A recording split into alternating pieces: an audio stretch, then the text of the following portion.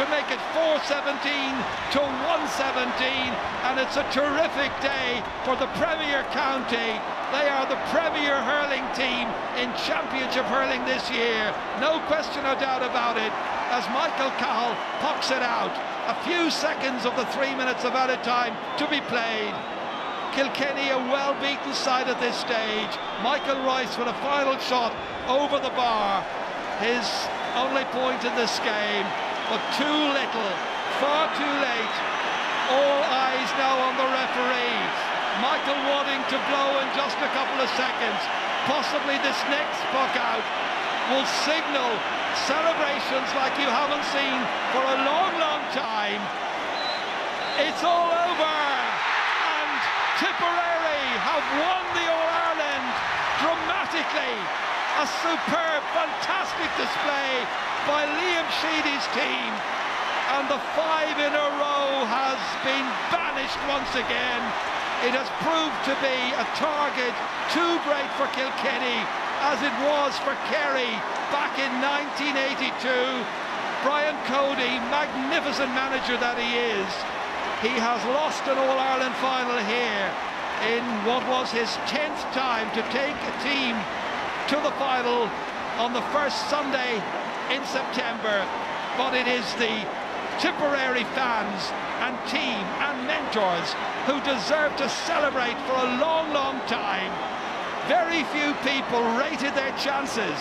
It was all about the drive for five, but they've been foiled, and Eoin Kelly has led the Premier men from Tipperary to win the Liam McCarthy Cup and take the title for the 26th time. The final score Tipperary four goals and 17 points. Kilkenny one goal and 18. On a great day for Tipperary. Christy Cooney, the GAA president, hands over the cup to Eoin Kelly. The Premier County are the top county in hurling for 2010. What a day to be a Tipperary hurling fan. A ticker tape reception well, this is what we wanted to see, an opportunity to properly celebrate the captain receiving the cup. People staying in their places, enjoying the moment, savouring the occasion. And Eoin Kelly from the South Division of Tipperary, the first man from that division to take the cup. Brian Cody and the others, Jackie Tyrrell, bitterly disappointed. It wasn't to be the most brilliant team I've seen in hurling, beaten this afternoon, but beaten by Tim. A a Timanita, Tá an an ardú ag san fuin agus.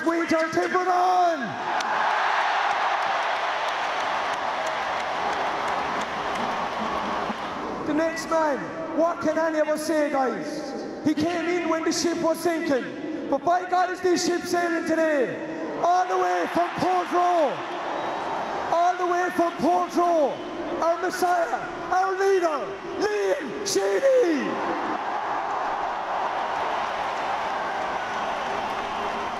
We're looking forward to the party in Thurles tomorrow night. Yeah, well spoken, Eoin. There. Well, let's get reflections from our panel first of all, before our audience. Donal O'Grady. Uh, great day for Tiff. Um, you know, they came, Liam Sheedy said it during the interview, they came last year, I suppose they were unlucky to, to lose it, but, you know, you, you have to say that they deserve to win it today. Um, you know, their passion, their enthusiasm, the way they went about things, they nevertheless, Kilkenny settle, and Kilkenny were fantastic champions, let's be, let's be honest, but I think a great day for the likes of Liam Sheedy and for Eoin Kelly. Eoin has soldiered long and hard, and it was great to see him raise the McCarthy Cup, and, you know, there'll be a tremendous night, uh, not just tonight and tomorrow night in, in, um, in Liberty Square, but I say for a long time, but just goes to show, Des, you know, the, the form now is lose the first round of the championship badly and it's all, yeah, it's all uphill after that. But, but there's no doubt, Pete, that did seem to get tipped back on track. That defeat to Cork. It, definitely brought them back down to, down to earth because uh, I think they'd lost their way after the All Ireland final. Um, they got a lot of praise. They were told they were next in command. They want to win the All Ireland this year. I think they lost sight of the Munster Championship completely. They came straight back down to earth. They've worked extremely hard since. They've improved with every game. And in fairness, this time last year they needed one or two more players. And Liam Sheedy went away. He introduced new players all the way along. He came to the All Ireland final today with three different players. He knew he couldn't come with the same team again, or we were going to get beaten again. Uh, fantastic result. The best thing about it is, for me, um, while it's disappointing for Kilkenny, I'm delighted that a team beat them that went up to Kilkenny's level to beat them. They brought such a magnificent display of hurling to Croke Park to topple the great champions that, that yeah. Kilkenny were. A word about Kilkenny, Michael. You've been a, an admirer of this team for a long time. Yeah, well, I think everybody has. You know, they've won seven All Irelands in the last 10 years, um, been a brilliant team. And they were brilliant today. I'd agree with what Pete said there. Um, it wasn't just that you know they handed to Tipperary. They were six points down when Henry Shefflin went off after 13 minutes. They, came, they went in a point down at half time and they had the wind at their back in the second half. They went seven down, brought it back to three, and they kept fighting and fighting and fighting. But at the end of the day, you know, they were great champions, but it was about Tipperary today. And it was, it was nearly a replica last year, except Tipperary took their goal chances yeah. this year. And uh, last year they didn't, and they left Kilkenny in the game, and Kilkenny, uh, you know, stole it with a couple of late, with a late goal, couple of late goals. So, you know, Tipperary um, are a very, very good team, very young team, 521s on the first 15 and another four or five on the subs bench. So uh, they'll be looking forward to the future as well as today. Okay, then. Well, let's go to our audience. We've a distinguished audience with us. Len Gaynor, who enjoyed many a great day with Tip. Len, how big a surprise was this victory in, in Tipperary? Oh, not that big, really. Uh, we'd always be expecting to win, you know, no matter who we were against. But today was a huge occasion.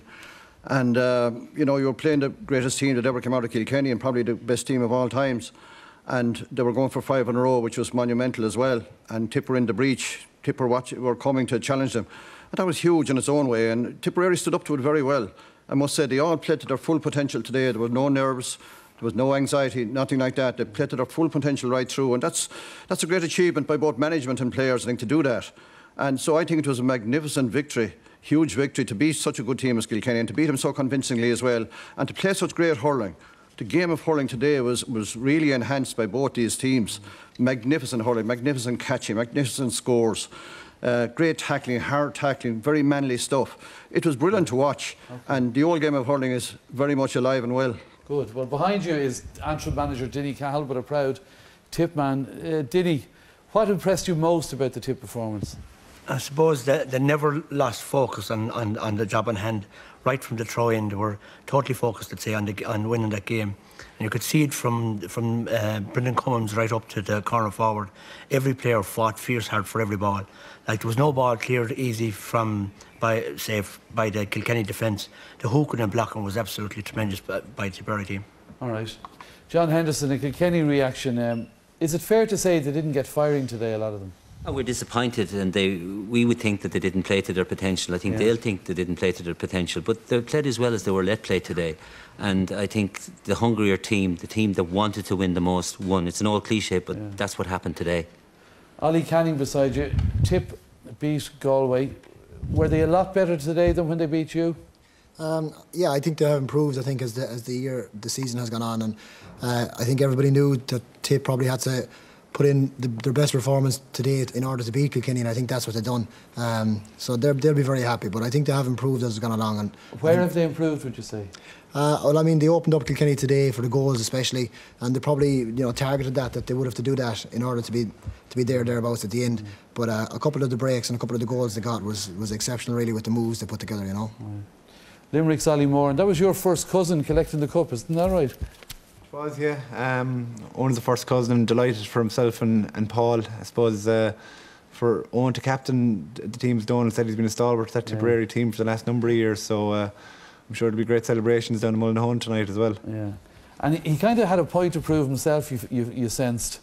Uh, he's really battled hard this year, hasn't he?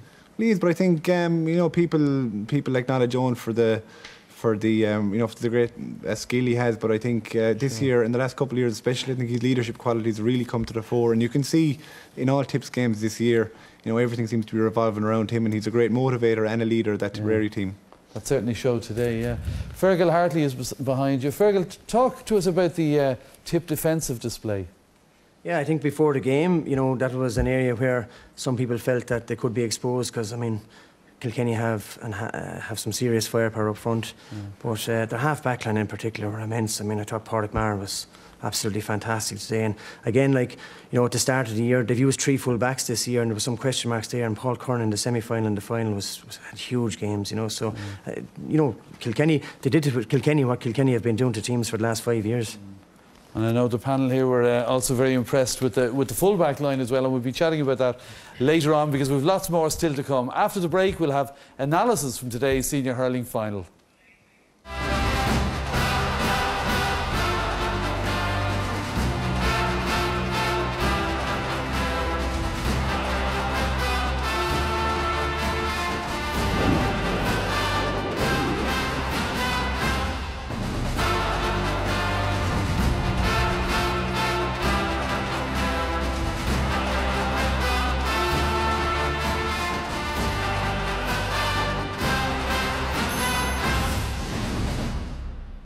You're very welcome back to the Sunday game.